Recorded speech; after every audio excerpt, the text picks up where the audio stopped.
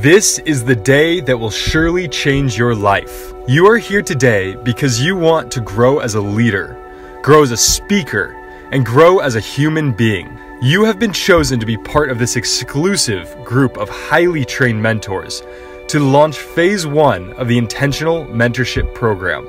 One of the greatest values of mentorship is the ability to see ahead what others cannot see and to help them navigate a course to their destination. In order to be a mentor, and an effective one, you must care. You don't have to know how many square miles are in Idaho. You don't need to know what the chemical makeup of chemistry is, or of blood or water. Know what you know and care about the person. Care about what you know and care about the person you're sharing with.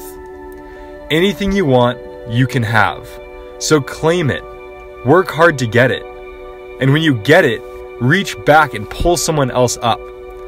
Anything worthwhile in life takes extraordinary effort. Have dreams, but have goals. Life goals, yearly goals, monthly goals, weekly goals.